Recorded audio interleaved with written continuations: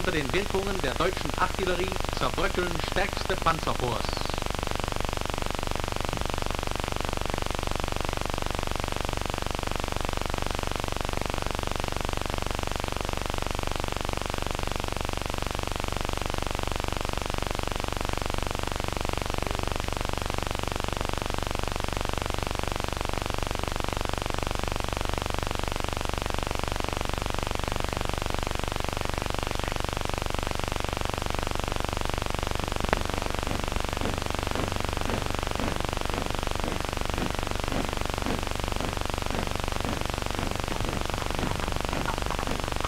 In Verdun, an dem berühmten Denkmal des Weltkrieges, nimmt der Oberbefehlshaber der 16. Armee, General Busch, die Parade seiner Truppen ab.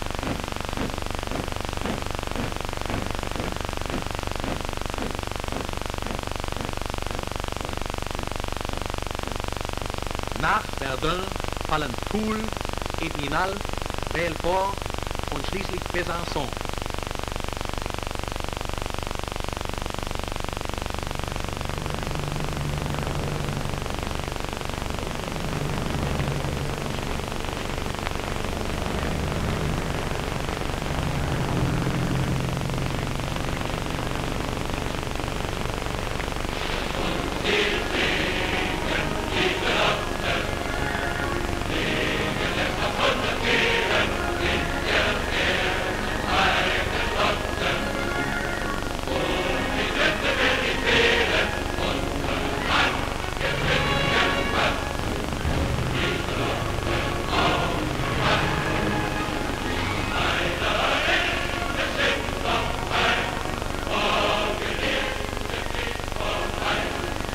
Der deutsche Soldat steht an der Schweizer Grenze.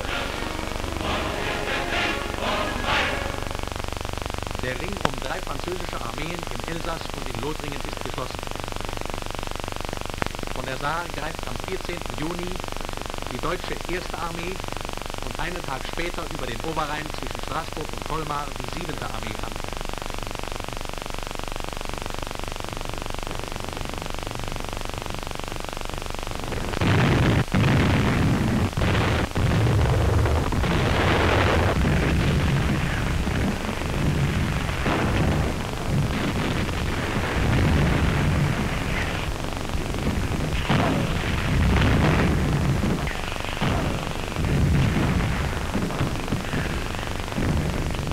Noch verteidigen tapfere französische Soldaten in Erfüllung ihres Befehls die Kernwerke der Maginot-Linie. Zum letzten Mal läuft das Uhrwerk dieser komplizierten Verteidigungsmaschinerie.